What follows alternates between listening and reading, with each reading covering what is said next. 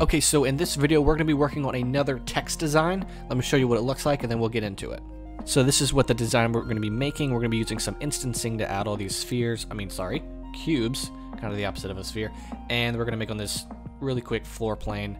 Side note, if you make this design, I would love to see it. Send it to me on Instagram. I'll put it on my story, and I'd love to see your work. I love talking to you guys. So yeah, feel free to send it to me.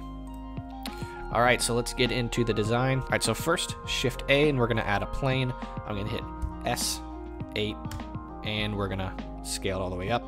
Next thing we're gonna do, we're gonna add a text. So come over here, Shift A, right here, right down here on uh, text. And let's go over to the alignment tools real quick. So we're over here, right here on left, right here where it says alignment under paragraph, we're gonna hit center and center on both of these horizontal and vertical. Now click on your text, hit RX90. All right, I'm gonna hide our plane for now so we can work on the text. Hit tab, I'm gonna give it a capital A. And I'm just gonna put our plane back in. Now I'm just gonna bring it right up here to the edge and we'll begin working on this. So now we have the A, we're not gonna change anything on the geometry. So I'm gonna go to uh, operator search here and type in convert convert to, and mesh. So now if we hit tab, now we have some vertices going on here. So we need to remesh this first because to do the instancing on the cubes, it won't work with this particular topology. So we'll do a really quick fix. We're gonna go add a modifier. First we're gonna add our solidify. So make it about as thick as you want. I'm gonna bring it about to there. First I'm gonna go over here and add a MatCap so we can see what's going on. So we have our A, put it about as thick as that. Next, we're going to add a remesh modifier. Right down here, click remove disconnected vertices. We're not going to worry about that. So let's just see how it's going to work. Right here on octree depth, just bring it up until it goes back to the way we want it. So it's right about there. Now let's apply our two modifiers and hit tab. So right now, it's not as high poly as I want it to be. So I'm going to hit Control Z until we get our two modifiers back. And on octree depth, I'm gonna bring it up to five. And I'm gonna click apply on those two. So that's how I kind of want it to look. So this is about as many vertices I want.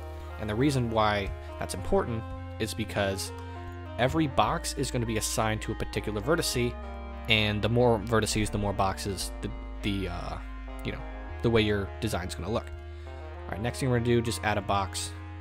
So mesh, cube. I keep calling it a box. Cube, box, same thing. All right, now I'm just gonna scale up my A a little bit, bring it to the edge of our plane. Okay, so, so click your A over here on your object settings, right here in this box, go to instancing and change it to verts. Okay, so now we click the box and then the A, that order is very important, and then click Control P and click Object. So now you can see over here what's going on. It's basically put the box in the shape of the A, but it's too big. So click on your cube, hit S and just scale it down till you can kind of see what's going on. And then we're just put it right up here. So move the A out of the way, out of the way where your camera's going to be, click the cube, and then bring it back over here. And then we'll put it right where it needs to be on our plane. Right about there. So now you can click your cube, kind of scale it back to where it kind of looks how you want it to be, just like that. You can also do this in the particle settings, but I, I like the way it works better with instancing, but you can do that either either way. All right, next thing we need to do is add our camera. So hit Shift A, add your camera, and then right up here where you see the little camera icon, we're gonna change, sorry. So right up here where you see the little printer icon, we're gonna change our dimensions to 2000 by 2000. Then hit Control, Alt, Zero, snap it to view, click your camera, go to the camera settings right over here, and we're going to change it to orthographic. All right, now we have an orthographic view. I'm going to sort of adjust our view real quick, and then orthographic scale, you can just kind of zoom it in and move how you want it to look. All right, next we need to add lighting, and then the floor plan, as you can see on the design, we have these sort of swirls going on, so we're going to make that real quick. All right, so in 2.8, you should have the shading preset. So we're to go over to that shading preset real quick. I'm gonna hit Z and look dev, and then I'm gonna take off bloom so it doesn't overtake the scene. And I'm gonna change our HDRI.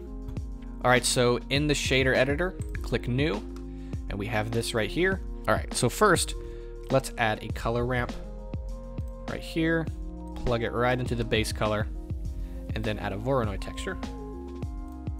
Plug that into the factor, and then we're gonna add a Musgrave. Plug the color into the vector. So now you can see we have all those swirls going on. So to eliminate the amount of swirls, we can take on our color ramp and just sort of bring it down, kind of like that. So you can see that's how it's kind of happening right back here. And then if you're not happy with the size, you can just mess with the scale here and the scale here and change the way that looks. Next thing we're gonna do is add a bump node right here, plug the normal into the normal, and then on the Voronoi texture, plug the color into the height. So now we have some bump mapping going on, kind of gives it a little bit of terrain. I'm going to adjust our color ramp here just so that we can get less bump going on. Kind of like that. And then with the white, we're going to make it orange, just like that. And we're good for now. Let's go in and add our lighting. So first, I'm going to change it to the Cycles engine. This looks better for this particular design. So first, we're going to add an area lamp. Shift A, go to Lights, and add Area. And we're going to put one. We're going to put one directly above. Make sure it's out of the view of the camera, and then scale it up. And then let's see how it looks. Looks good for now. We're going to add one more light.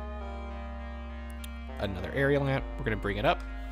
Bring it this way, slightly to the front, and if you hit R twice, you can sort of move it out and you can see where it points. So I'm going to bring it a little bit further this way, put it right at the beginning and scale it up a little bit. Hit Z and we're going to check the rendered view. So that looks pretty good. Let's add a color to our A. So add a new color, bring it about orange, kind of the same orange we have going on. So if you try to add a color by clicking the A, that's not going to work you need to click on the cube, and then we're going to add that color we just made. And the cube is what dictates the color that's going on here. All right, this all looks pretty good. We just need to up the strength of the lights. So the one above, give it a strength of 1000. And then one on the side, I'd say give it a strength of 300. And we'll see how that looks. There we go. So that's pretty much the design. Here's the render settings real quick if you're in cycles, sampling, I'd give it about 300 samples.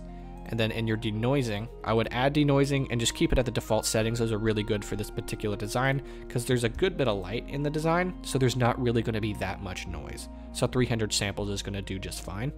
So there you go. That's an interesting text design. You can play with that, little interesting instancing trick. And yeah, thanks for watching.